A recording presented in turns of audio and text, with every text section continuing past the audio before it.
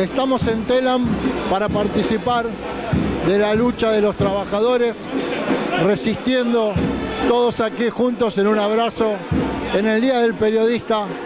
Es un honor estar aquí participando. Bueno, hoy es un día del periodista. Eh, donde nos encuentra luchando en las calles.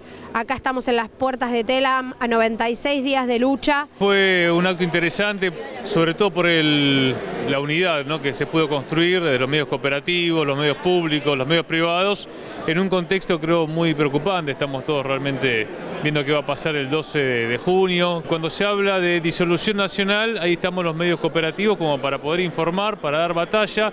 Hoy se ratificó que es donde existe hoy la libertad de expresión, porque los medios comerciales están siendo, bueno, muchos operando con sus líneas, eh, líneas editoriales, algunos para acomodarse a esta etapa de, gobierno cipayo, vendepatria, antiargentino. Los medios públicos están siendo atacados. Vemos acá Telan Vallado, que es un desastre. Así que hay una responsabilidad histórica, creo, de nuestro sector, todo lo que estamos armando la Confederación de Medios Cooperativos para poder... Eh, plantear la verdad en un momento de tanta mentira. Celebramos la dignidad de la profesión, el poder ejercer y poder luchar por trabajar con libertad, porque tenemos el compromiso de ser los ojos que van a llevar esa realidad a las casas de todos los eh, hombres y mujeres de la Argentina en cuanto nos dejen trabajar en los medios públicos. TELAM, Radio Nacional y Televisión Pública tienen un valor fundamental, que es el compromiso plural, realmente plural, diverso y federal. Es un, compromiso de cada uno de los trabajadores y trabajadoras. La historia vuelve a repetirse. En el 2016, 3.700 trabajadores de prensa en la calle. 3.700.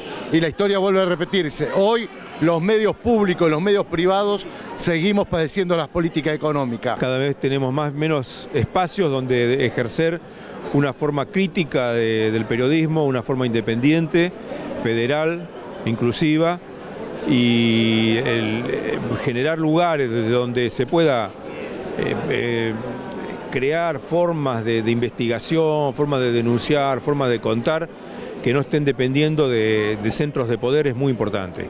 Segunda lucha que compartimos con, con Telan por este, estos tipos la quieren aniquilar porque está en el en el índice de la Embajada de Estados Unidos. Los compañeros se olvidan de Estados Unidos, creen que es un problema de Macri, un problema de Milley, no. Es Estados Unidos siempre, no hay otro. Y, Gran Bretaña que pone un poco también, Israel que pone otro poco, bueno. Ese, ese entente quiere que Argentina quede de este lado. ¿Cómo se da la batalla cultural frente a este modelo? Bueno, creo que eso se construye todos los días, que hay que en este momento en el que la gente eh, parece apática ante dar ciertas discusiones, hay que mostrarle que hay un pueblo resistiendo, hay que mostrarle cuál es la identidad de nuestro pueblo. Se resiste en modo colectivo sabiendo que no estás solo.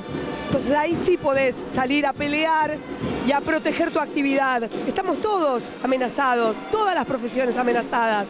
La cultura les resulta peligrosa históricamente a la ultraderecha, a la derecha, al neoliberalismo le ha sido siempre un elemento peligroso.